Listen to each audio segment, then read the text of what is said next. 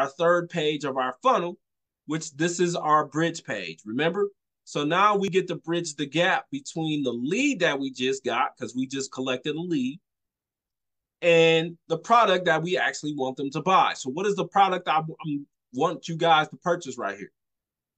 It's the $25 all-in-one digital business with the Home Business Academy, right? So in this video,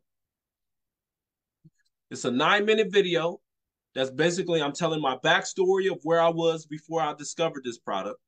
I'm talking about how I got introduced to it.